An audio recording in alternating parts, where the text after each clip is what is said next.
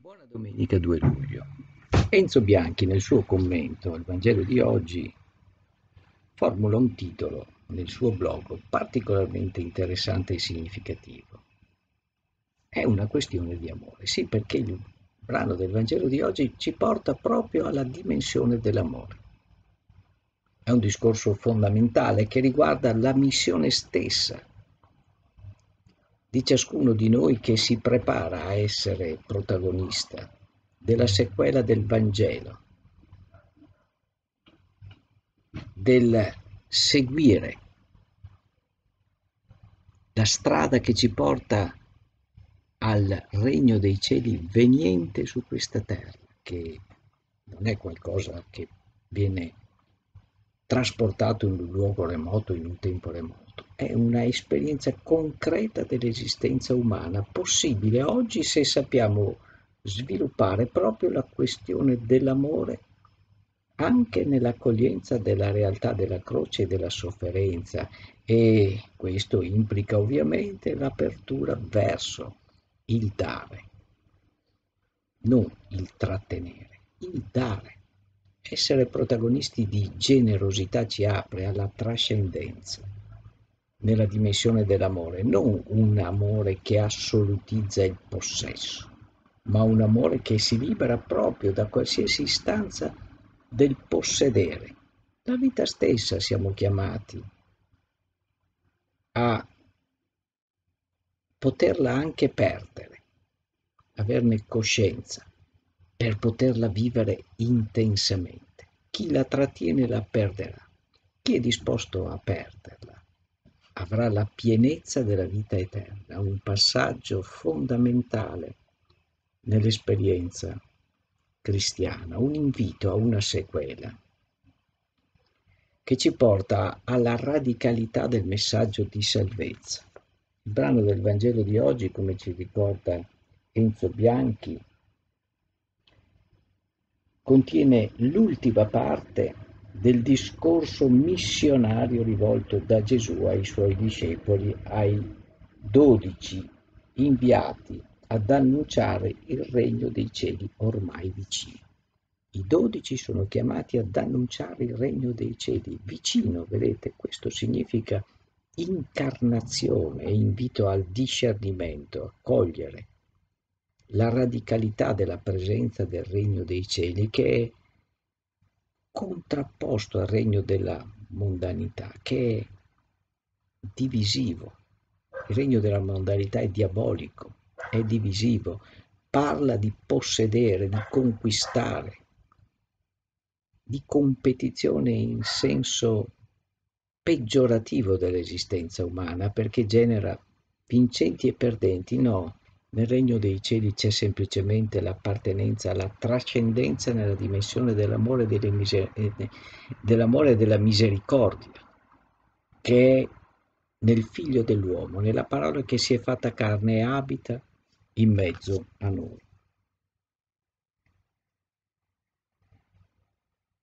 E giustamente sottolinea Enzo Bianchi che tutto questo fa arretrare il potere del demonio il potere del possesso e della divisione, antitetica sicuramente alla dimensione dell'amore. Diverse parole di Gesù sono state raccolte qui da Matteo. Parole dette probabilmente in circostanze diverse, ma che nel loro insieme determinano il contenuto e lo stile della missione e preannunciano anche le fatiche e le persecuzioni che i discepoli dovranno subire perché accadrà loro ciò che Gesù stesso, loro maestro e rabbi, ha sperimentato, questa coniugazione che in qualche maniera ci scandalizza, di croce e amore, rappresenta in modo straordinariamente perfetto la realtà dell'esistenza umana che è chiamata anche nel momento della difficoltà, della croce, della persecuzione a esprimere in pienezza la propria disponibilità a lasciarci andare proprio alla dimensione dell'amore, un amore più grande di quello che noi nutriamo nei confronti di genitori, di figli, rappresentano simbolicamente queste due realtà dei genitori e di figli, la sacralità dell'amore, ma sono espressione simbolica che indicano qualcosa di molto più grande.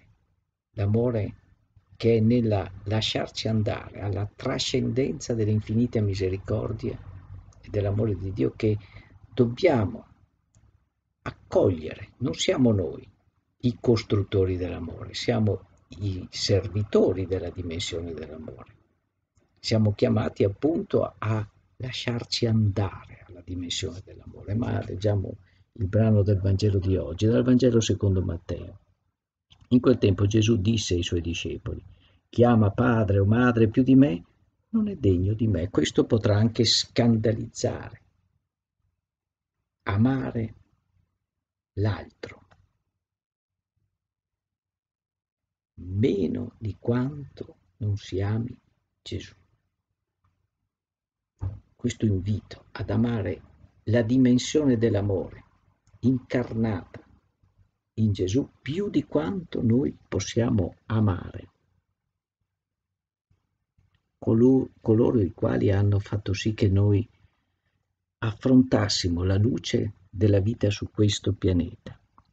Chiama figlio o figlia più di me. Non è degno di me. Guardate che è fortissimo il riferimento, perché riguarda le cose più intime della nostra esperienza quotidiana. Ci chiede Gesù di aprirci un amore più grande, che tra l'altro questa apertura all'amore più grande ha il preciso significato di non possedere né i nostri genitori né i nostri figli. Viverli in una prospettiva autenticamente liberante. Chi non prende la propria croce e non mi segue non è degno di me, questo implica l'apertura somma, la dimensione dell'amore, accettando anche la dimensione della croce. Chi avrà tenuto per sé la propria vita la perderà, il trattenere. Significa vivere nella dimensione della perdita. Ma è chi avrà perduto la propria vita per causa mia che si lascia andare anche al sacrificio estremo a causa mia perché si apre alla dimensione della testimonianza dell'amore, troverà la vita, la troverà, lì troverà la vita, non perderà la vita, la troverà nella sua più profonda autenticità, nella sua più profonda essenza. Chi accoglie voi accoglie me. È nell'altro, nella prossimità che accogliamo questa dimensione di trascendenza dell'amore. E chi accoglie me accoglie colui che mi ha mandato. Vedete, qui Gesù sottolinea che non si costituisce come idolatria. Rimanda anche lui alla trascendenza, all'appartenenza al Padre. È straordinaria questa rappresentazione, anche se ci soffermassimo solo all'aspetto simbolico. Sconvolge, scuote profondamente alla, alla radice il nostro modo di stare al mondo.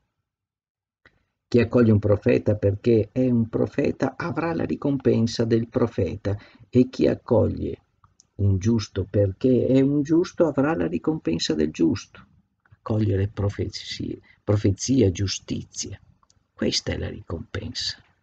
Essere testimoni di profezia e di giustizia, questa è la ricompensa. Chi avrà dato da bere anche un solo bicchiere d'acqua fresca a uno di questi piccoli perché un discepolo, in verità io vi dico, non perderà la sua ricompensa. Dare per poter essere ricompensati. Ma quella ricompensa sarà generata dalla nostra disponibilità a trascendere noi stessi, a superare ogni istanza egocentrica e autoreferenziale per disporci in un percorso liberante all'insegna appunto alla dimensione dell'amore. Ha ragione Enzo Bianchi nel titolare questo commento al Vangelo di oggi, che dovrebbe rappresentare un punto di riferimento per l'intera nostra esistenza. È una questione di amore. Buona domenica.